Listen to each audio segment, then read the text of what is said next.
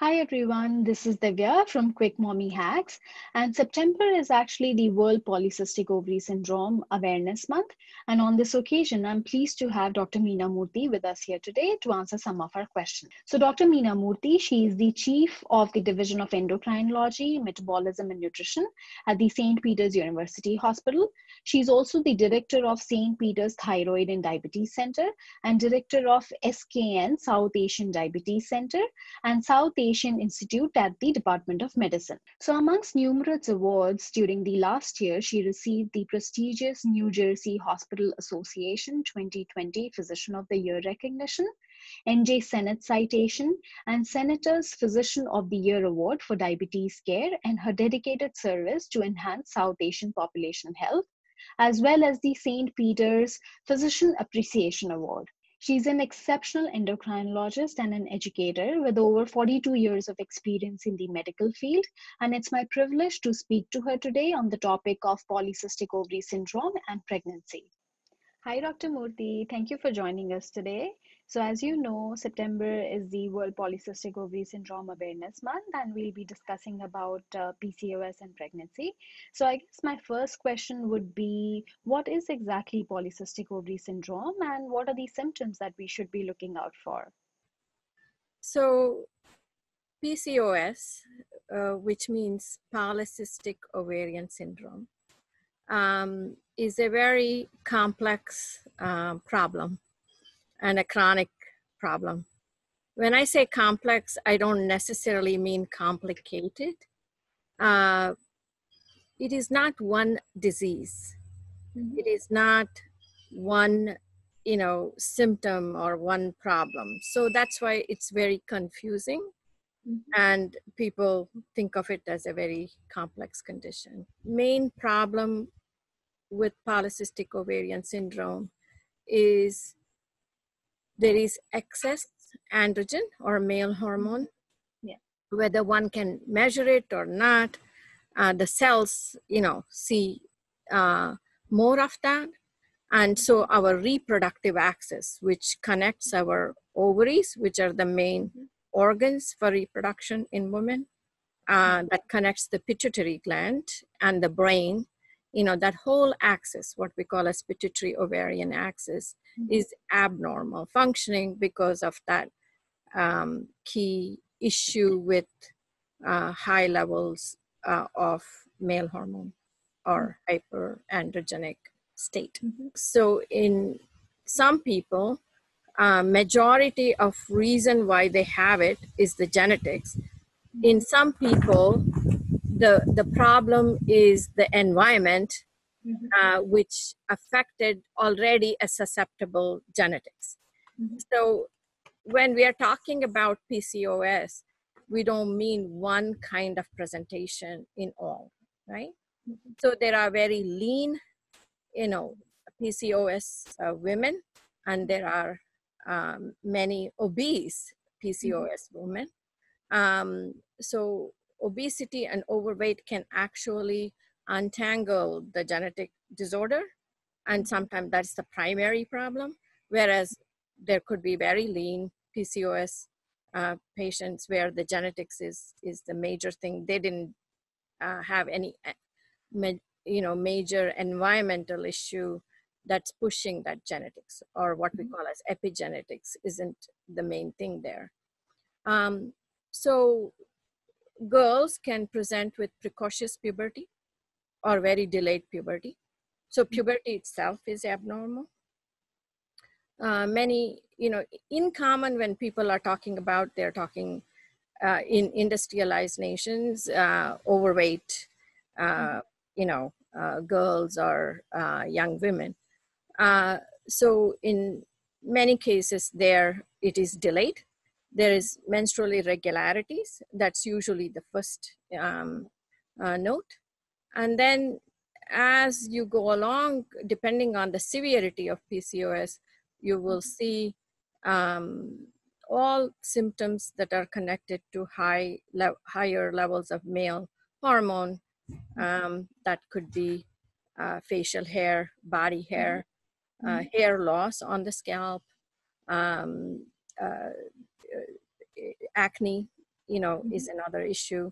So, uh, women who don't have polycystic ovarian syndrome or young women can have these things. So, just because one has acne or some menstrual irregularity, it doesn't mean that they have mm-hmm. PCOS because many other menstrual irregularities overlap PCO, PCOS. Mm-hmm. Uh, so there's a lot of confusion in diagnosis. Okay. Right? Mm-hmm.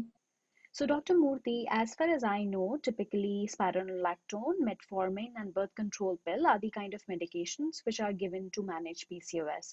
So, in your opinion, what is the side effect of these medications if they are taken for a prolonged period of time? So, everyone starts with medications, but uh, I would usually start uh, with what patient can do to improve this and then what medication can do. Again, like I said, for everyone, it's not the same answer. First, uh, if the ovaries are um, significantly um, deranged in their steroid synthesis, we suppress them by giving oral contraceptive or birth control pills. You know, that's the usual mechanism.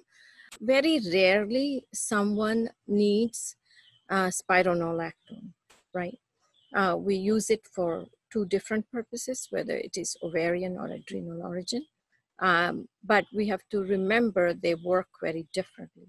Mm-hmm. And sometimes we use uh, drugs which decrease the insulin mm-hmm. um, mm-hmm. resistance, and that would be something like metformin. Okay. Right. Mm-hmm. Uh, so different uh, side effects for different drugs. Yeah. Um, as much as possible, you know, when things are mild and when environmental input whether from overweight or obesity is significant we want to address that rather than you know uh, um, medications um, right? Uh, but when you know uh, you have ideal lifestyle ideal body weight ideal fitness uh, you have worked on all of those things and you still have significant level abnormalities you would be treating with you mm. know ovarian suppression especially if there is you know progressive growth of hair significant menstrual abnormalities. And that's a clinical decision of who and you know who should be treated. It's not an absolute necessary thing right? It's it's many times you know uh, a um, a decision based on the level of indication the benefits and the rest of these medications for that particular individual. For each okay. person, the risk of medication is different, uh, you know, uh, and also how they tolerate it, what their health values are about mm-hmm. taking medication, all of that comes into mm-hmm. play. Okay. So, um, like, how do we know that we have been cured of uh, PCOS? Like, we can keep on taking the medications and everything and keep on doing the blood work, but like uh, for example like how would you know that you are just like completely got rid of uh, pcos or you know it exists and you just have to manage it? Blood work is not a good way to diagnose uh, okay. pcos although we use blood work to see what the associated manifestations of the pcos uh, so pcos is a clinical diagnosis. So you know people tell me my gynecologist did an ultrasound and they didn't see anything in the ovaries. Yeah. They did not see cysts in the ovaries. That doesn't mean someone does not have PCOS syndrome because we are talking about microscopic, not necessarily macroscopic. So sometimes we don't see it. Sometimes we do see it, you know, uh, on an ultrasound, you know, uh, a polycystic nature of the ovaries. That's why we said different level of severity um, and different level of problems look different but mm-hmm. it's a clinical diagnosis it's yeah. not necessarily chemical diagnosis so sometimes okay. testosterone can be in the normal ranges when you measure it uh, or mildly elevated you know mm-hmm. so when we are talking about a chronic condition we are mm-hmm. not talking about cure right uh, okay. you know when ovaries stop working in the menopausal state and yeah. then maybe we can say okay we, we have you know gone over the, the issue yeah. but in the reproductive age group, we think of managing the problem because as long as those ovaries are there, as long as, as our mechanisms of abnormality is set up in the physiology or mm-hmm. pathophysiology, then we just need to manage it. So I guess one of the questions that all the women with PCOS have is, uh, will they be able to conceive naturally? Like, will you be able to conceive naturally if you have polycystic ovary syndrome? Most women do. Yeah. In in fact, most women with PCOS uh, naturally, um, yeah. you know, get pregnant. Uh, but some women, again, depending on the severity, have difficulty uh, conceiving, conceiving. So infertility is a yeah. problem. Um, but if you look at all causes of infertility in females, PCOS actually has a very good response, mm-hmm. you know, uh, to uh, reproductive assistance, right? Okay. So we should always be uh, very um, optimistic, mm-hmm. and mm-hmm. we just have to work with professionals who understand this and who can get you into ideal situation mm-hmm. um, uh, with your physical health. Uh, you know so sometimes people lost 30 pounds and just got pregnant. Uh, sometimes people just went on metformin and by two months they got pregnant you know. So um, so multiple factors are involved. We want to correct all of these factors whether something is contributing 10% and something is contributing 50% um, many women i work with um, you know, who thought uh, PCOS is the reason they were not getting pregnant. Mm-hmm. And they just went away with their husband uh, for a cruise uh, for a month. they, they just yeah. got pregnant. So sometimes it is the social restrictions we have, yeah. not, you know, uh, having relaxed time, um, you know, stressors of daily life. So many things input into this physiology that mm-hmm. um, you know just trying to make a holistic approach to it is the best strategy. And then of course many may need additional assistance um, mm-hmm. by reproductive endocrinologists. And uh, women who suffer from pcos what can they do to have a complication free pregnancy? The complications of pregnancy in pcos are um, more related to trying to get pregnant. So any issues related to reproductive assistance you know sometimes you know people gain weight or have difficulty tolerating those medications mm-hmm. but pregnancy related complications are not related to the ovarian problem but more so are related to the insulin resistance okay. so yeah so um, they may already have impaired glucose tolerance or mm-hmm. Uh, so all of that has to be screened ahead of time uh, because it is important to have metabolic control prior to getting pregnant. Yeah. So it is very important you work with your doctor to plan the pregnancy and make sure there is no issues related to gestational uh, diabetes you know, uh, issues related mm-hmm. to uh, this insulin resistance and diabetes. So, one of the symptoms that women with PCOS have is irregular periods. So, how would one know when to exactly test for pregnancy if you have PCOS? The menstrual irregularities can be very varied, meaning um, the the mildest form could be instead of 28 day cycle, someone can have 35 day cycles or 40 day cycle Sometimes mm-hmm. they skip a cycle. Sometimes mm-hmm. people skip several months of cycle, right? So it depends on um, the same person can have mm-hmm. varied amount of um, you know ovulation uh, peak times you know although a pattern is somewhat predictable in a woman over a period of time you know short period of time but in their lifetime it could vary a lot. Um, so best is to track when you're ovulating, mm-hmm. right? Uh, so usually in you know normal cycles, ovulation should happen in about 14 days after the you know first mm-hmm. menstrual uh, you know day. Mm-hmm. Uh, but that could be 18 days or 20 days or sometime early. Mhm.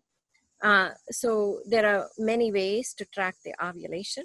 So Mm-hmm. PCOS uh, women, and some cycles will be a- anovulatory, meaning they won't Mhm. have ovulation that cycle. So it's Okay. important that they um, follow that, right? Okay. Like track that ovulation time.